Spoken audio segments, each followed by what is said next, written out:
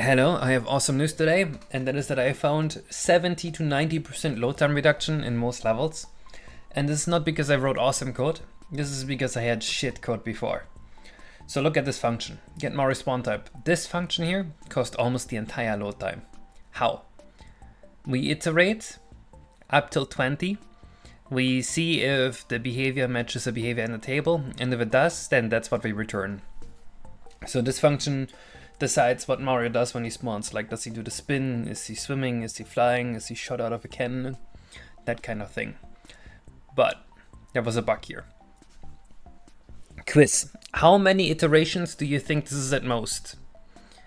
If you're a reasonable person, you're gonna say 20. But what GCC compiled here is an unbound loop, meaning this will iterate the entire memory.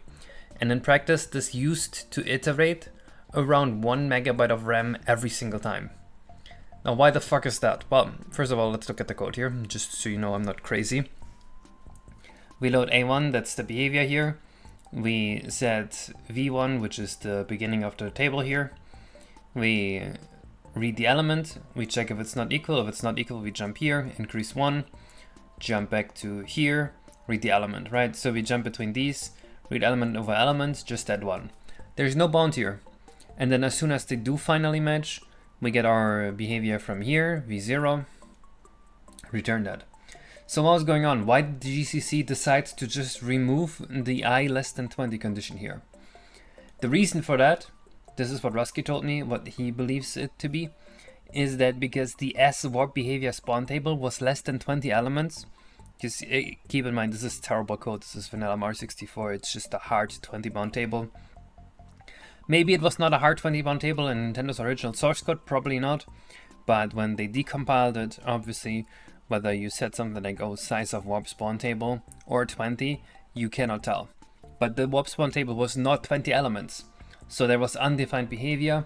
And apparently GCC can be like, oh, if this was actually 20 iterations, we would hit undefined behavior and undefined behavior will never happen.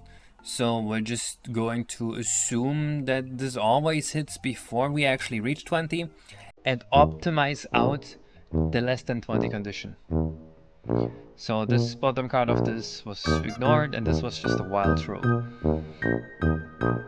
Now look at the load time improvement here.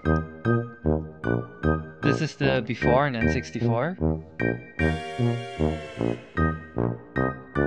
Come on.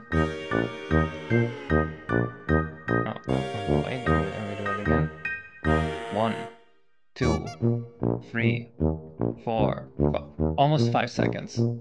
This was the before on Project 64. One, two, three, four, almost five seconds. They actually match. Now the after on N64. One, two. What? One, two. This is on emulator. Isn't that fucking mm-hmm. crazy? So what's the fix? The fix is actually very obvious you know, you just do the size of thing. And I also started iterating from the ends, just because that's one instruction faster, and I'm stupid like that, I want that one instruction. But yeah, uh, very good news, we basically no longer have load time. I'm very happy about that. Maybe now I can use bigger decompression algorithms, because I love using bigger decompression algorithms to get more ROM size, because we actually have quite the issue with ROM size. Um, luckily we're almost done with the game, but if you look at this, we are at 60 megabytes. We only have 4 megabytes left.